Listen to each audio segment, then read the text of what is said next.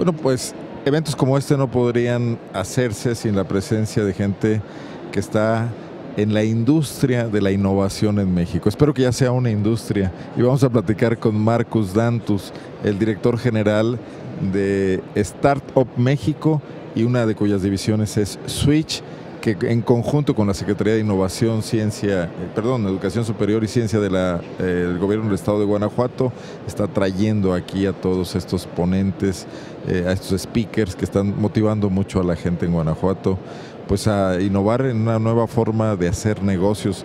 Marcos, gracias por concedernos unos minutos para No, me muchas gracias por el espacio. ¿Cómo está la cultura de la innovación en México? ¿Son los millennials los causantes de esto? ¿Nos ponemos las pilas los que estamos ya en otra, en otra etapa?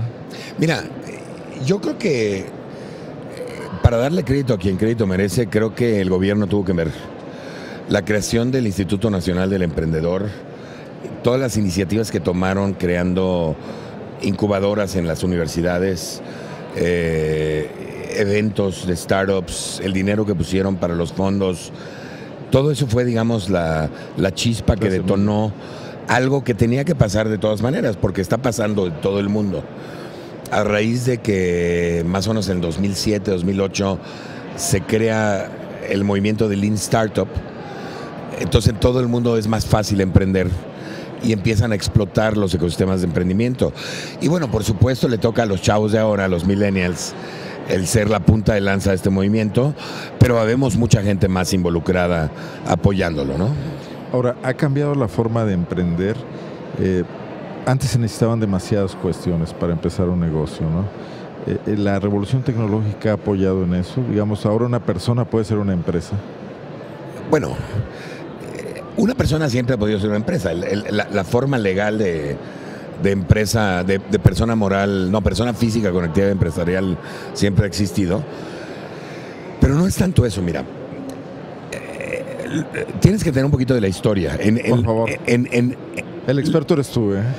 no, no, no, pero la, la, primera empresa que se crea en el mundo es en 1608, creo, que se llama el Dutch Indies Company. Es la primera empresa que crea acciones y que divide, que crea un consejo de administración, etcétera.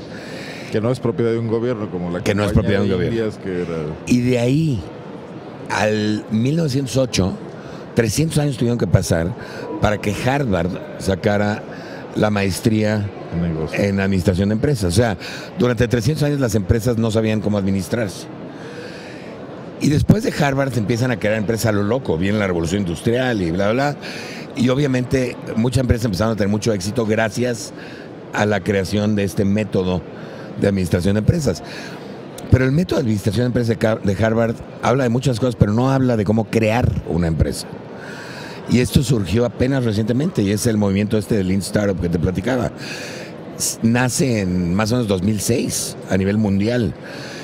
Y esto es lo que ha detonado que realmente hoy cualquiera pueda tener no solo una empresa, sino una empresa innovadora, exitosa y sin arriesgar todo su patrimonio en ella, ¿no? No sé, lo veo un poco como en el ejemplo de los medios de comunicación. Antes necesitabas comprar una rotativa que costaba un millón de dólares para tener algo de influencia. Y no mucha, no te lo garantizaba nada.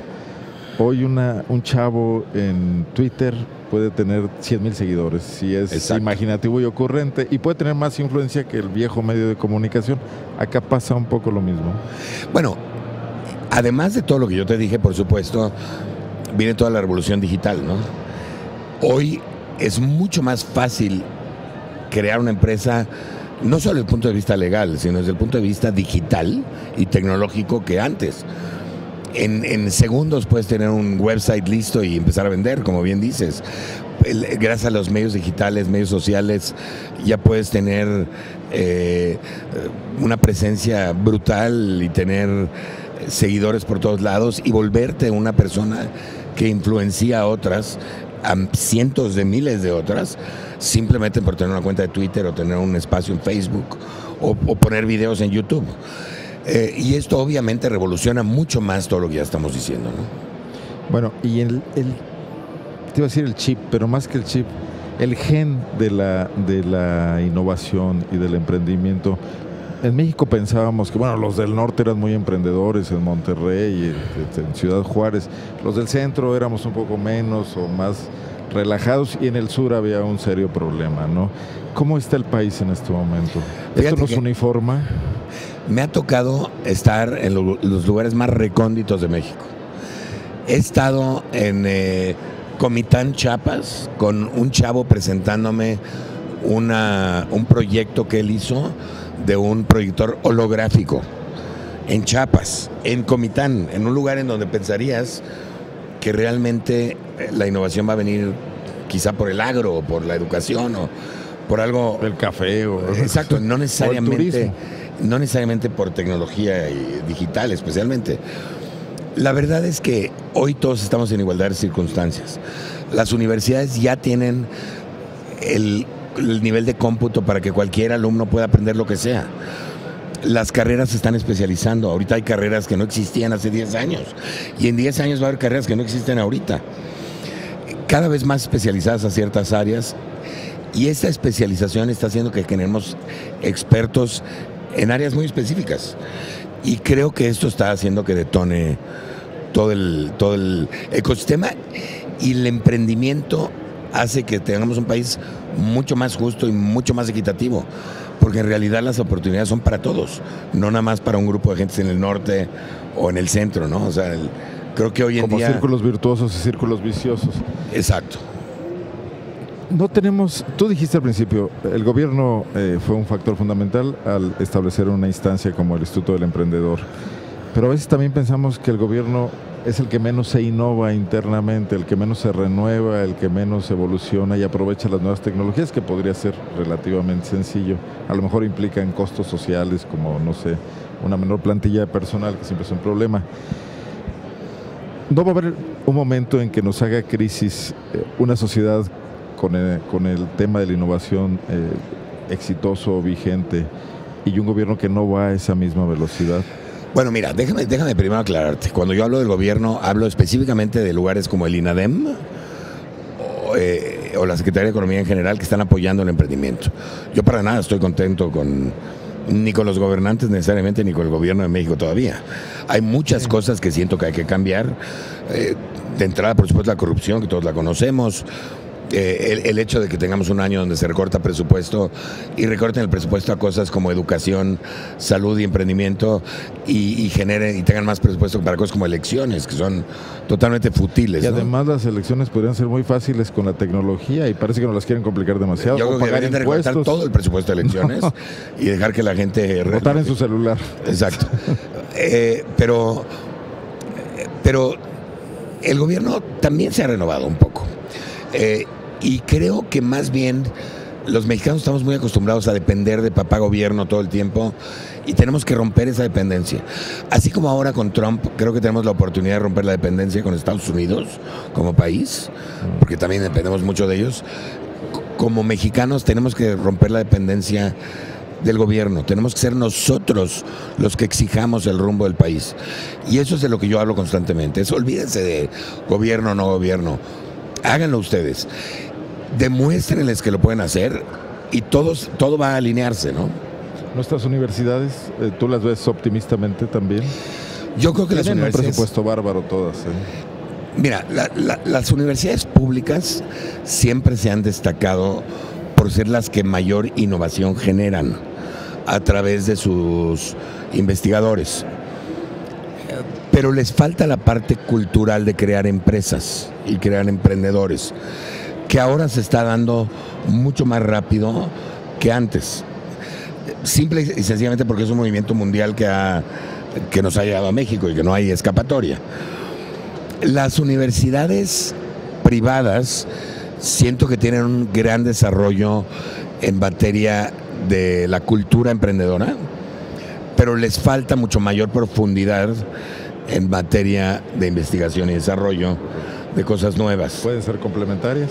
Entonces, exactamente, creo que, creo que lo interesante está en empezar a mezclar a estos eh, estudiantes. En, en, Finlandia hicieron una cosa increíble, hay una universidad que se llama Alto, en Helsinki, bueno, en Espo, que es un pueblito que está cerca de Helsinki, en donde lo que hicieron es que juntaron a la universidad más grande de ingeniería, la universidad más grande de negocios y la universidad más grande de diseño en un solo campus universitario. Y las cosas que están surgiendo ahí son increíbles. Si nosotros pudiéramos hacer lo mismo en México, sería maravilloso. Empresas como la tuya, ¿cómo trabajan? Si me explicas un poco, Startup México, ¿cuál es su, su misión, digamos, y cómo hace negocio? Bueno, nuestra misión es promover la cultura emprendedora del país y crear un espacio para que los emprendedores tengan mayores posibilidades de éxito al crear sus empresas.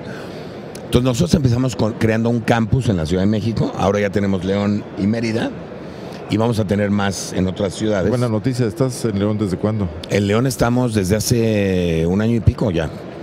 De hecho fue el tercer campus que creamos. Estamos en el Parque 100 en el TEC. Eh, y, y, todo el mundo nos preguntaba por qué León, déjame contestártela de una vez. Por favor. Porque para mí el Bajío es una zona con altísimo potencial, medio olvidada. Y, no obstante esta explosión ahora. Y ahora nosotros vemos que está a punto de explotar positivamente.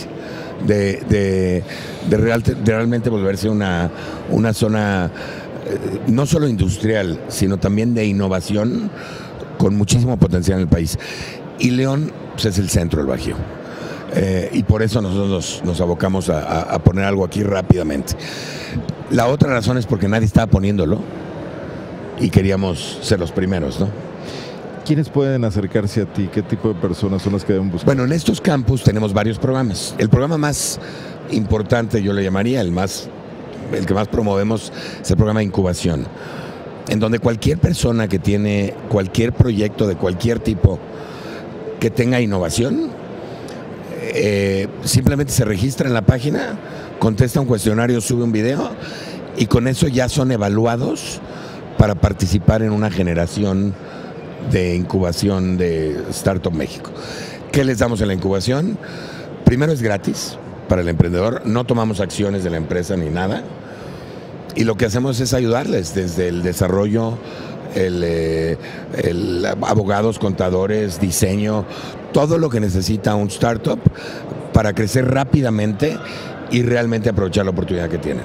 Es el programa de incubación, pero tenemos otros programas, tenemos programas educativos, programas de aceleración para empresas más grandes, programas de laboratorio de innovación para empresas ya muy grandes, etcétera. ¿Cómo estamos en cuanto a regulaciones? ¿El país se mueve bien en ese sentido, a desregular, a facilitarle la vida? ¿En cuanto a? Regulación. O desregulación, que sería la palabra, ¿no? Mira, ha habido, ha habido mucha, muchos cambios importantes. Te voy a dar un ejemplo. En México antes no había, no habían SAPIs. Este tipo de empresa es muy importante para atraer inversión y para no inhibir el proceso de inversión. de la inversión. Exacto, y, pues tienen muchas ventajas, ¿no? Le dan muchas ventajas al inversionista que lo hace más tranquilo en cuanto mete su dinero a una empresa donde va a tener una minoría.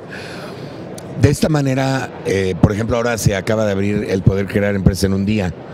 Eh, eh, se está abriendo eh, las fronteras de México a través de los tratados de libre comercio. O sea, la verdad es que ya no hay muchos pretextos para no hacer una empresa y no tener éxito. Muy bien. Mencionaste a Trump hace rato, dices que es una gran oportunidad. Ahí no hay muros en el terreno de la innovación en Internet, como lo dijo hace rato Miguel Márquez acá en inauguración.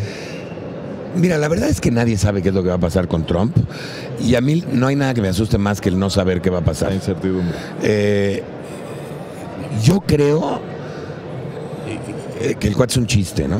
Este, y yo creo que no va a poder hacer lo que él dice que, que va a hacer.